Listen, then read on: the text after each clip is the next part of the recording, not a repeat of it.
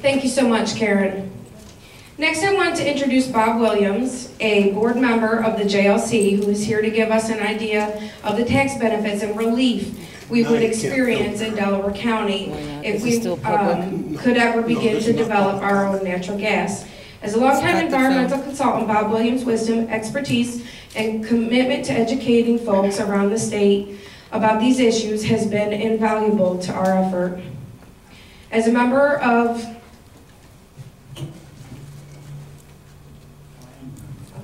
As a member of Governor Andrew Cuomo's um, high-volume hydrofracking panel, Bob has helped put landowner issues front and center in the most important places. I am so pleased to have Bob here today to take us through pre this presentation. After Bob talks, we'll go right into Truthland and hold questions until afterwards when we'll have a panel of discussion. Um, okay, Bob, it's on to you. And um, ma'am, you cannot record this presentation. You can, you can record this, I don't care. That's fine. Thank, thank you. No, that's okay. That's okay. This is, this is good information, and it's, the information, I didn't make this information up. I'm on, as uh, Sandra said, I'm on the governor's high volume hydrocarbon panel. One of the things that happens is when we go to our meetings, we get presentations by different parts of the uh, state government, and most of the information that I have in here is directly out of the uh, presentation we got from the Office of Real Property Tax Services, and I just modified it to make it more personal by local, by bringing in some local information. Once again, this is me, Bob Williams, and I've had 40 plus years of working as an environmental consultant. I've worked in over 32 different states, and I've worked on all types of energy projects, wind, fossil fuel, nuclear power. What else do I have? Natural gas and pipeline projects, and I've worked for energy companies, state, and the Federal Energy Regulatory Commission. So I've been, I've got a lot of experience with regulations. I just put this slide in here because this is a slide of New York State, and the one thing that, that I hear a lot is that there's no natural gas drilling going on in New York State. Well, there's lots of natural gas drilling going on in New York State, and it continues to go on now as we, as we talk about the Marcellus Shale. All of the red areas that you see in here are areas of New York State that are, that are drilled and are being drilled for natural gas.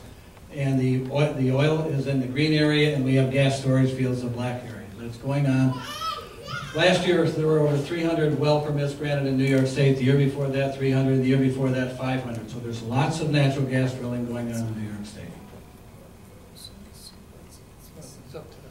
So what's all this mean to the landowner in the towns? Let's take, we're going to take a, a, quick look at some of the typical things, the drilling site, the horizontal drilling process, the drilling unit, the pad, the number of wells on the pad, and the drilling sequence of each well. And the production value. The production value you'll see will be important as we go on. These are some pictures that I took that I actually got off the uh, internet from uh, Norse Energy up in Chenango, Madison County. This is the, I'm sorry, let me go back.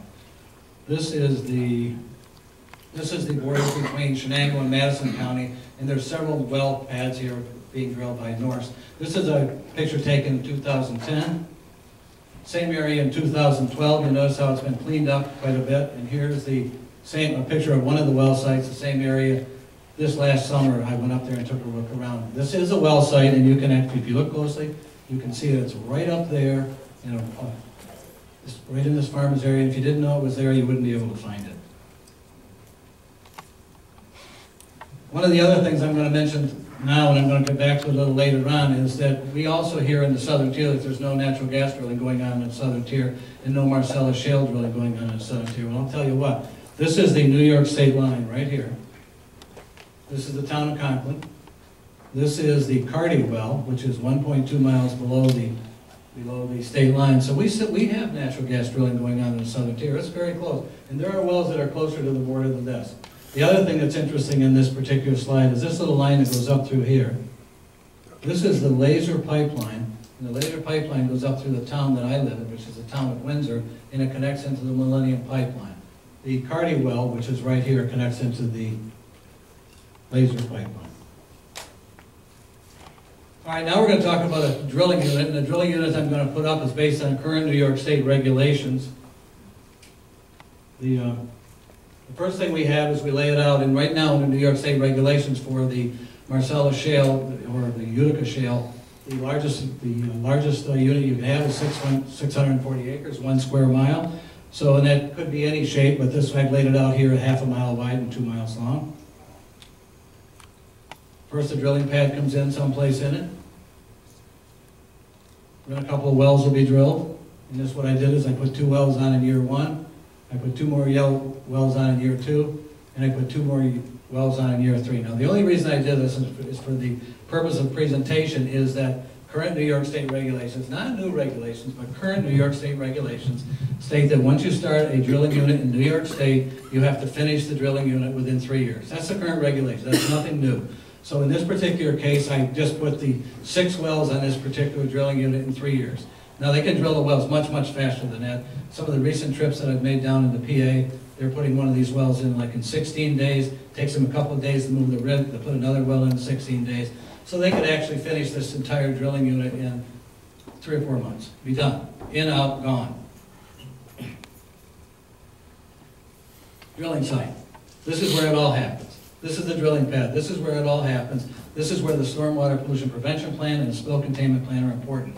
The years that I've been working on this, if there's a problem that's actually going to be associated with, with pollution from natural gas drilling, it's probably going to happen right here on the drilling pad. Not as a result of hydraulic fracturing, but as a result of somebody spilling something or something getting off the site. If the stormwater pollution pre- prevention plan is done correctly and you have your spill spill containment people on site, if something gets spilled, it's gonna be cleaned up before it leaves the site. And that's typically what happens. In the new regulations that are supposed to come out sometime in the near future, New York State has put in two stormwater plans you have, one for construction of the site and another for drilling of the site. And you have to have a trained spill containment team on site at all times when you're doing the drilling. So they've actually looked at this. There's secondary containment, there's, they have um, impermeable liners in here, they're working on top of a pad. They do once, once uh, closed loop drilling. They actually have this pretty much in sight.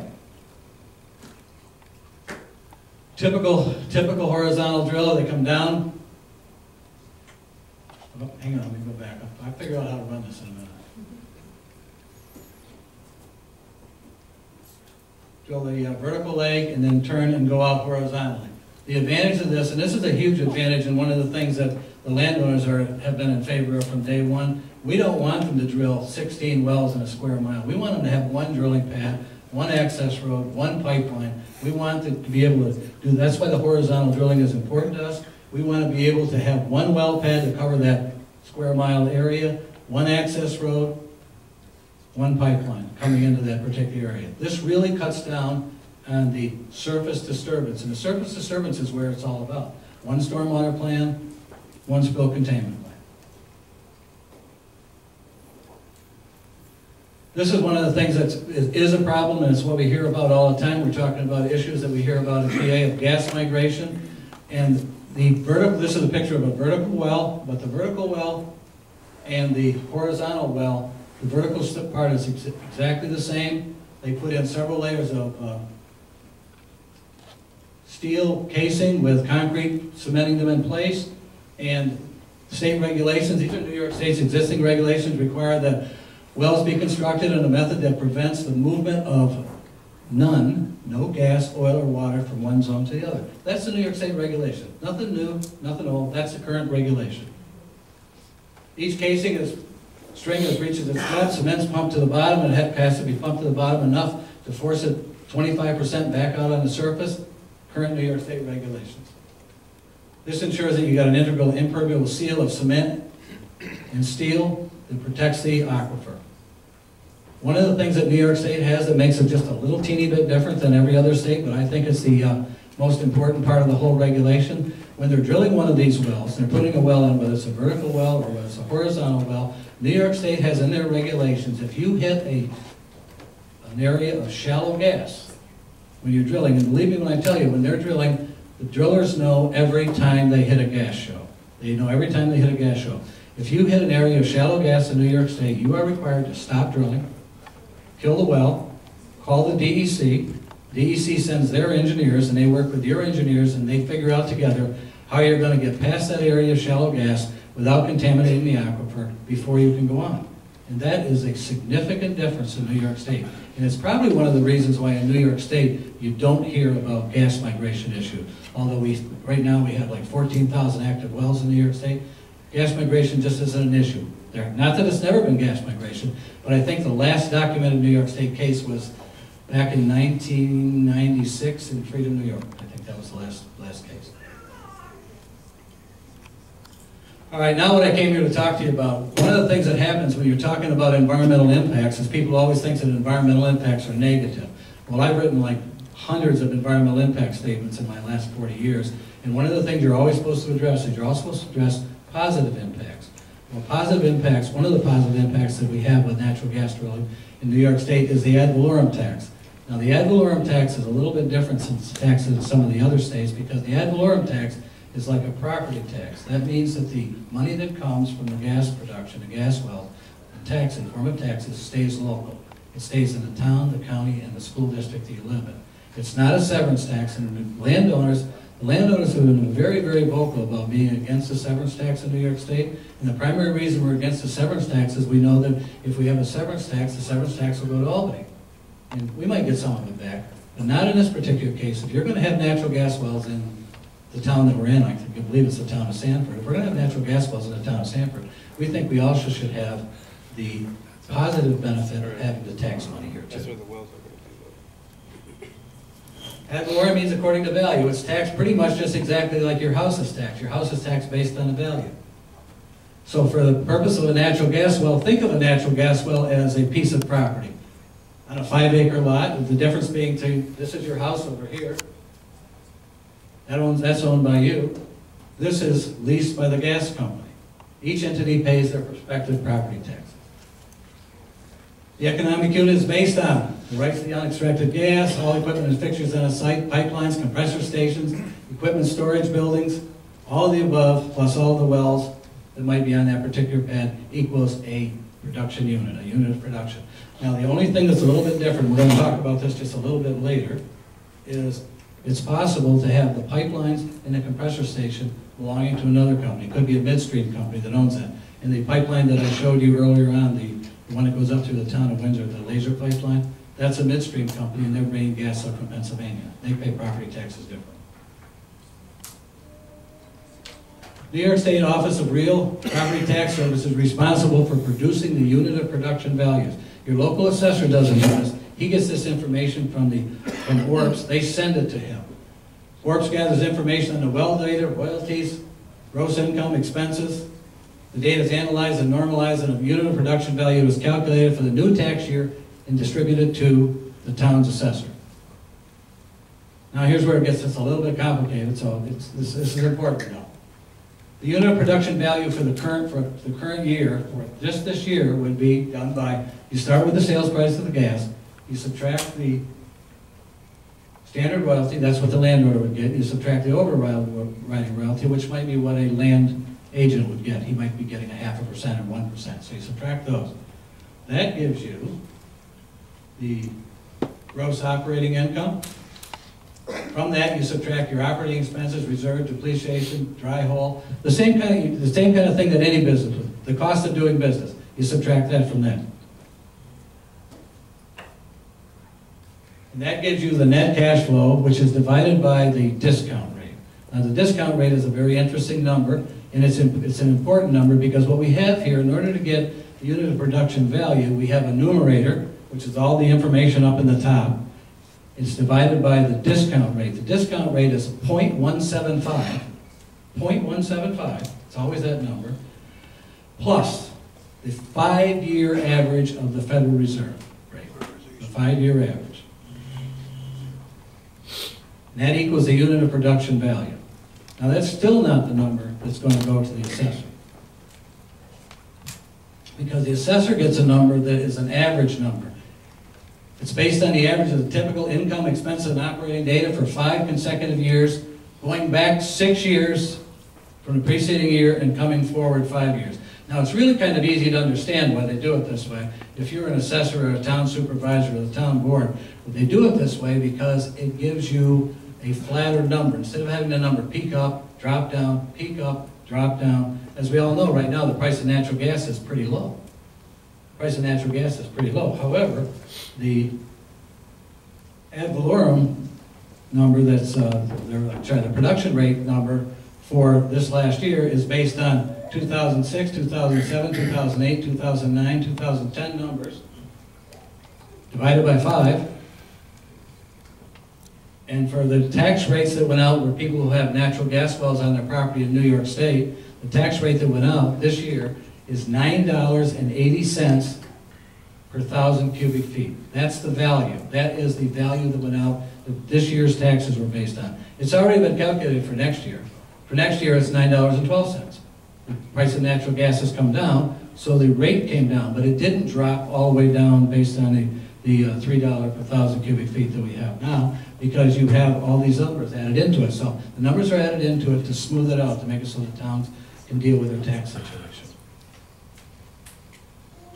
There's another factor that comes in here. Now we got the nine dollars and eighty cents. That's the value that gas is taxed at per thousand cubic feet. Now we have to figure out how many thousand cubic feet the wells are coming out. If you actually have wells on there, you actually get a production value from the gas company. But for the purpose of this presentation, I've used the numbers out of the uh, SGEIS, the draft SGEIS out of chapter six. They have a table, and the DEC projects that the first year of a Marcellus well in New York State will be 803 million cubic feet. The second year, it'll drop down to 354. Then the third year, 258. Then it goes down to 201 and 166. And then it starts to level out and it goes out like this for about 30 years, up around So now what the uh, what happens is for assessing a gas well, the local assessor receives the value of unit production from the state. The local assessor computes the assessor using the following formula, takes that by the production of the well and the equalization rate.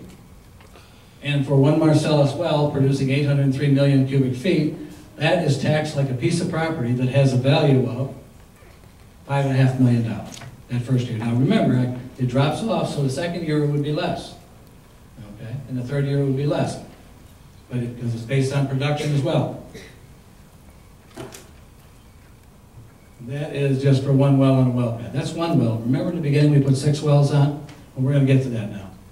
So we put six wells on. So what I did, I worked up a little table over, over three years for six wells. And what I did is I followed the same thing that I did in the diagram. I put two wells on in year one, each producing 803 million cubic feet of gas. And those two wells in the, the town that I worked this up for, which is the town of Conklin, I showed you that figure before, They'd have county services would get $113,000, that each different divisions in a town, 21 to town general, highway 24, lights 19, fire protection 13, and the school district would receive $401,000 for the two wells in that first year. And that's $594,000 total taxes out of two wells in the first year. Then if you put two more wells on in the second year, now what I did is just keep this, keep this honest, I put two new wells on at the 803 million cubic feet, and I also decayed two of these wells to the 354. So we have two new wells and two old wells. This is year two, so now in year two we got 163,000 for county services, 30,000 from the town general, and you go right down, you can read these, 35 for the highway, you get down to the school district getting $579,000 out of taxes in the second year. Then I went to the third year and I put on two more wells, two new wells, two one-year-old wells, two two-year-old wells. So in the third year, it's $199,000 off that single well pad for the county, 37,000 for the town general, 42 for the highway, 34 for the light, 24 for fire protection, and $708,000 in that particular year for the school district. So you can see what happens out of these well pads is what you do is you get a lot of tax benefits that's coming into the local town from these things. And it, and it drops off. It drops off, it'll go down, it'll go down, but it never goes down to zero until they actually plug the well. And that's one, that's one square mile, that's one well pad, six, six wells on it. The, uh, the Cardi well, this well that I showed you right, this well pad that I showed you right here, that, Right, Okay. just cut them off. That, the Cardi well pad anyway, well, Brad's trying to get that back up. The Cardi well pad has eight wells on it, and they're just south of the town of Conklin, one point two miles. So they're not getting any of the taxes from that well pad. That well pad was one point two miles farther north. They'd be getting much, much more than that, because that, they're only producing one well on the Cardi well pad right now, and the initial production out of that well is eight, eight million cubic feet per day. Much, much more than the DEC's estimate. So how are we doing, Brad? Just a minute, die. Okay. Oh,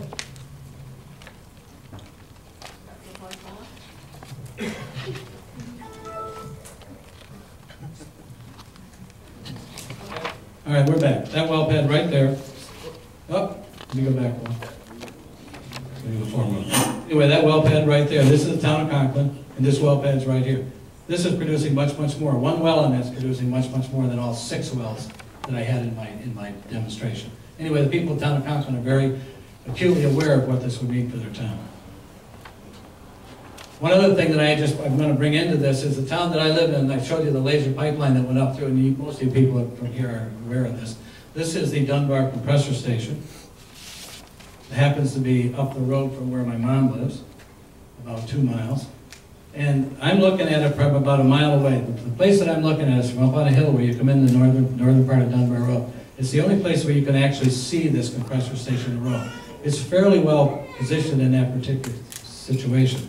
But it's also in an area that is surrounded by other roads down through here, and there's housing on these roads. There's housing on these roads, and one of the things that our town did early on when we were getting ready for the, uh, we knew that the laser line was coming through, we knew they wanted to put a compressor station through, and a couple of things that you actually have some control over in New York State as a town is you have control over your road use agreement, you can come up with a road use agreement, you also can put in a noise uh, ordinance, you put in a noise ordinance, and one of the things that we did in the town of Windsor is we put in a noise ordinance early on, before this thing was even planned, and our noise ordinance basically, basically, you can actually go online, town of Windsor, and pick up the noise ordinance, but our noise ordinance basically says they can go five decibels over ambient, five decibels over ambient. Well, to the credit of the laser people coming through, and we did that, they said, okay, we can do that. And they can do that. There's, a, there's enough technology out there that they're capable of doing that. So we put this in. So five decibels over ambient in this area right here, the ambient, it makes it 45 decibels. Now, when the, uh, when the DEC last February went through and actually did a sound measurement here, they actually came, they actually came back with their sound measurements, the nearest receptor, the nearest house, which would be this one right here, of 47 decibels. That's not quite quiet enough yet. So the people at, the Laser sold their pipe, this compressor and their pipeline to Williams Gas, and Williams Gas now is in, the- is in the process of making this quieter, so that they can actually meet the town's ordinance. They don't have a problem with it, they can do that, they can meet the town's ordinance. The reason we put the ordinances is really simple. If you were going with a FERC line, you'd be looking at 55 decibels. We put the noise ordinance in because we in the town thought that 55 decibels might be a little bit too loud, so we put in the noise ordinance, 5 decibels over ambient, they agreed to it.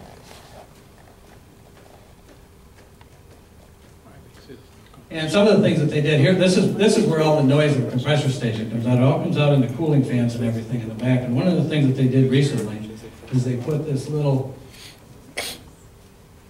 bit of insulation on that uh, exhaust thing, and that lowered the dec, that lowered the decibel rate about three, about three dB. But they're still working on it, they're gonna get it there. One of the things, the reason they're probably gonna get it there is, my information is that they actually wanna put more compressors in there, and it just wouldn't be possible unless they got the noise in in line. But, here's one of the things that's kind of interesting. The laser pipeline and the compressor station.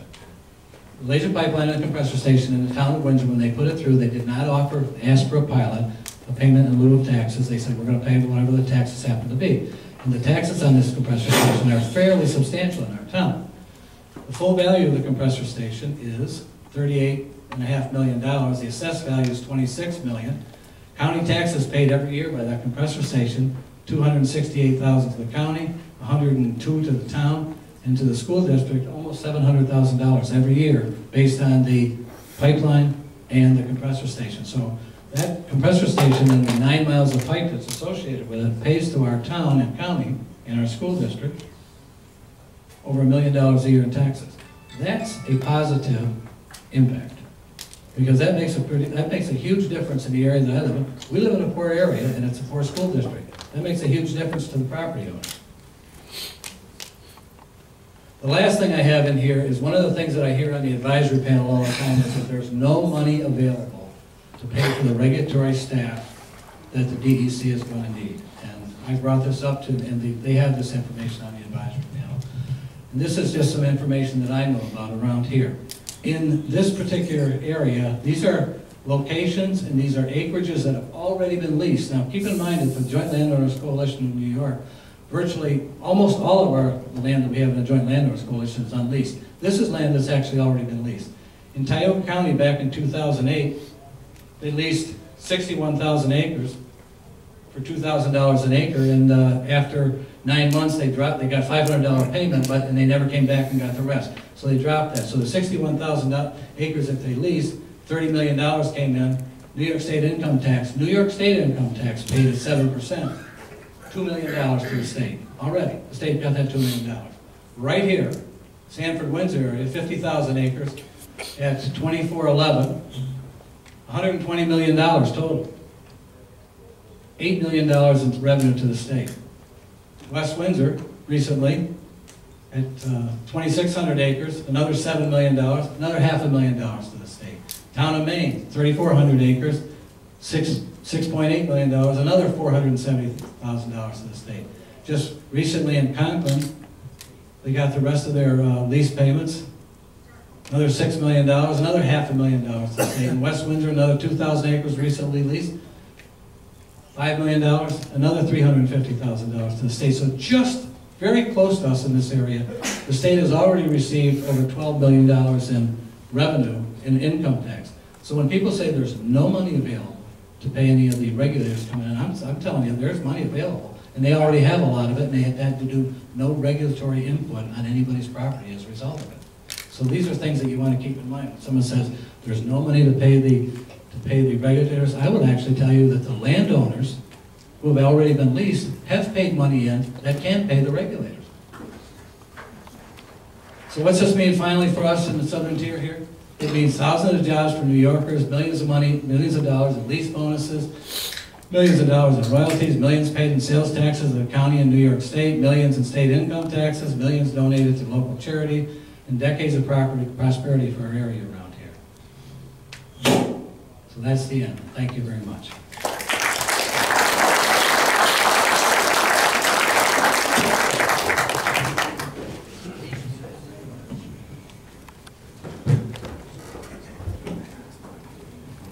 I just wanted to let everybody know, we've got some new signs. If anybody wants to grab one on your way out to put in your lawn or hang up on the edge of your barn or whatever.